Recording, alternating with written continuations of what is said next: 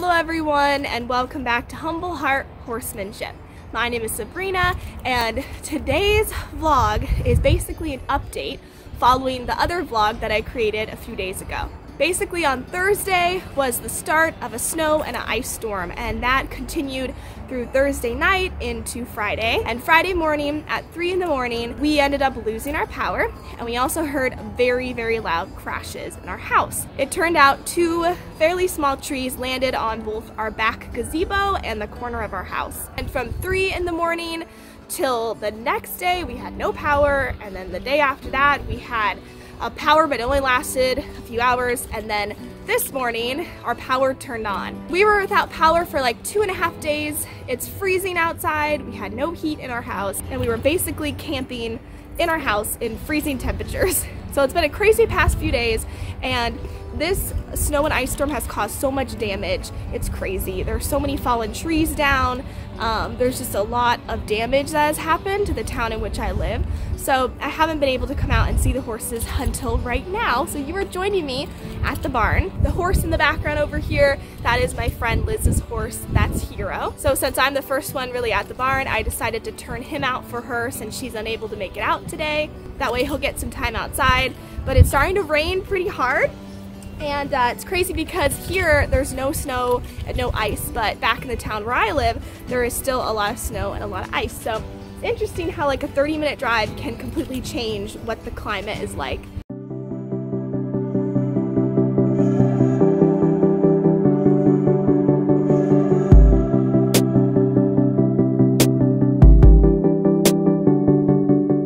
Honestly wasn't sure if we would have power here or not, but it looks like they have power, so that's good.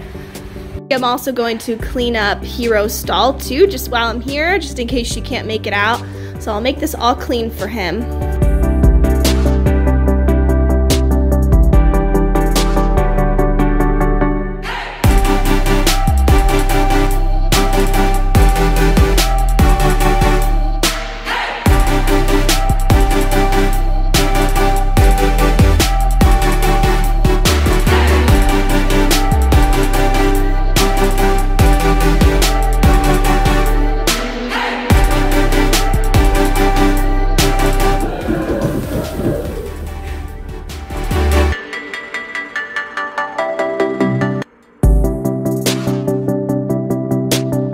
Alright, it's all clean now. I did a pretty quick job cleaning it, so it's not perfect, but at least it's cleaner than it was before.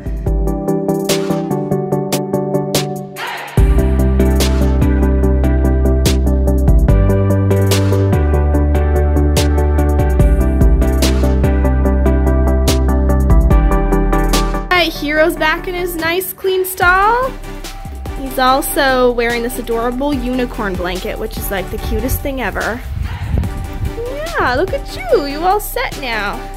I also just finished getting all of these totes filled for the boys.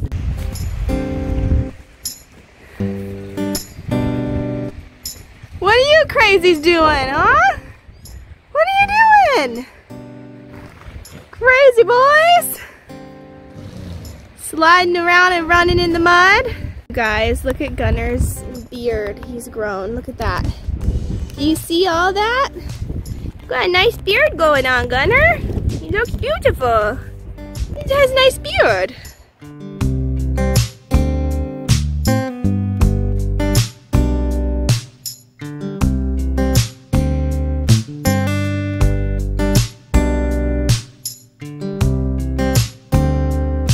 Told you guys that Gunner loves this spot in my last vlog. He's the one that primarily likes to hang out under here. It got so dirty over the course of me not being here for like three to four days. What are you doing, buddy? What are you doing? You got something stuck in your teeth You look a little silly. so I'm gonna clean this out once again, make sure it's all clean for them because we're supposed to have so much rain for the next week. You guys, look how dirty Gunner is. Ooh, see this? Can you see this boy? Look at him. You're so dirty. Yes, he says, don't tell him I'm dirty, you guys. You guys, you really had to come in here at the same time. I was just about to clean it. You were out there in the field and now you had to come in here? They're like, this is how we demand attention. right when I'm about to go clean their shelter, they both go into the shelter. This is how they get their attention because they know whenever mom's around, they're gonna get attention. And keep in mind that they have all of this space out here that they could be hanging out in, but no, we gotta go where mom needs them not to be. Gunner, are you quote unquote helping? Are you trying to help? Yeah? Is that what you're doing?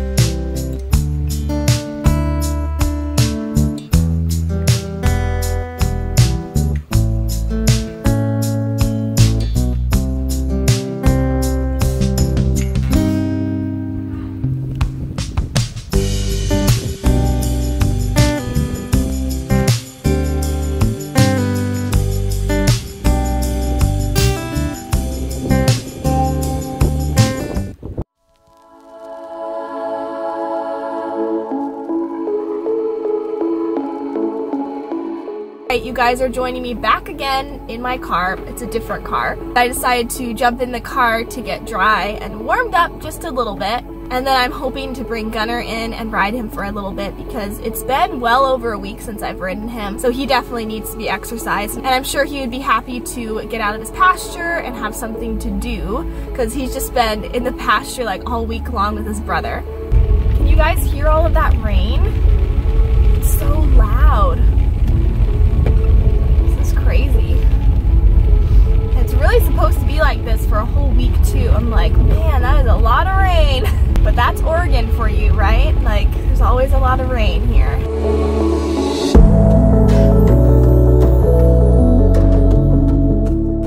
You guys have never been in the barn arena when both of the side doors have been closed. Look how dark it is in here.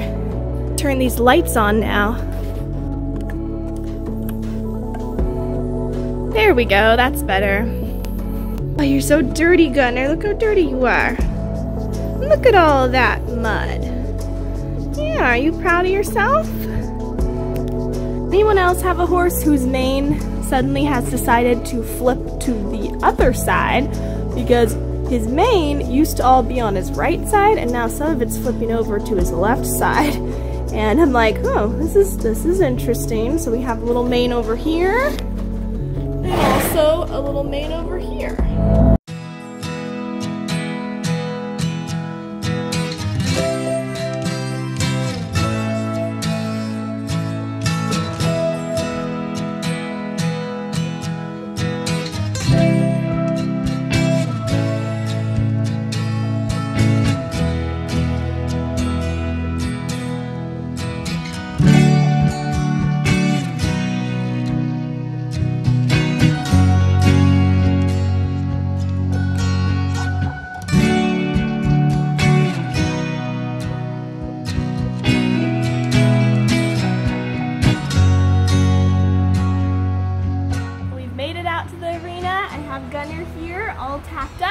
I've decided to ride bareback today. It's really, really windy and pretty stormy, and so I decided to not ride Gemini a few days before I ride Gemini. But good old trusty Gunner here, he is always such a really sweet, reliable boy who always takes care of me. So we're gonna go for a quick little ride in the arena. Gunner needs exercise pretty frequently. He has high articular ring bone, which is basically osteoarthritis in the horse's pastern joint. So to keep him sound, healthy, and happy, we do a lot of light exercise. And for Gunner, that means a lot of walking during our rides. So moving around is really important for horses that have conditions like ring bone or any type of arthritis.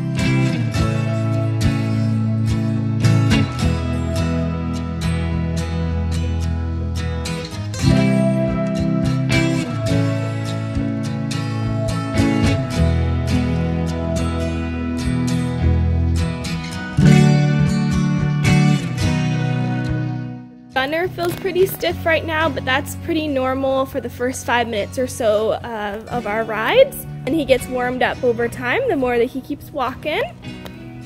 Also, we are just coming to the end of a very crazy snow and ice storm where the weather was below freezing.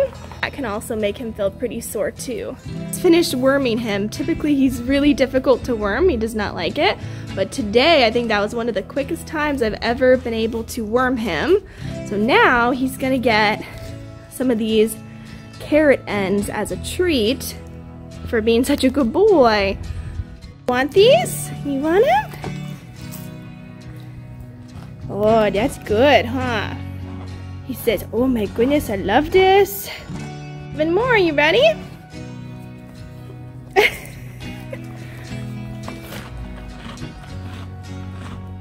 Good boy, Gunny. Waiting for your brother? Are you waiting for him? He says, yeah, I was waiting for my brother. Alrighty, it's time for these boys to get wormed. I already did Gunner inside the barn. And then Gemini has always been really great about being wormed. So now it's his turn.